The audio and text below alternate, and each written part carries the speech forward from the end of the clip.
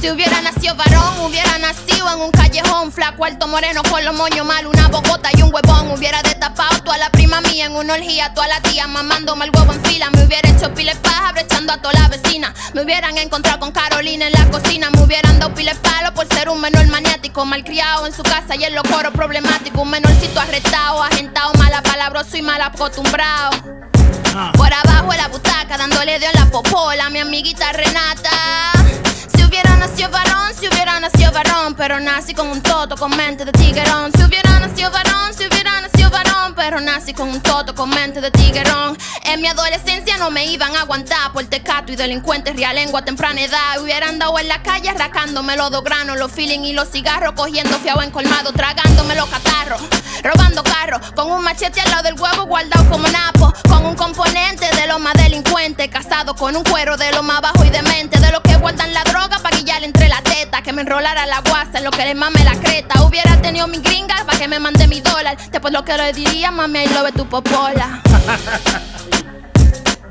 ¿Qué es lo que tú le vas a decir a esa gringa? Pero espérate, tú estás hablando de una gringa. Y tú no sientes amor, o sea, eh, por esa persona. ¿Cómo así? No hay amor dentro de ti, hay mucho amor, ¿no? Claro.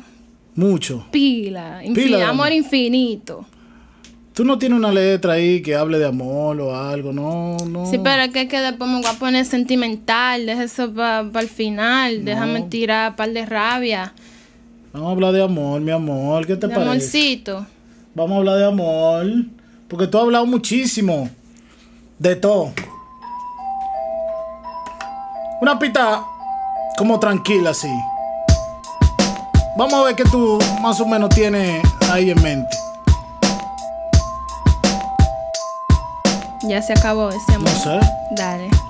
Ah, dime si acaso me ve cara de idiota. ¿Cree que te voy a perdonar por un beso y un maldito abrazo? Que maldito fracaso, ya se rompió el fucking lazo. Lo que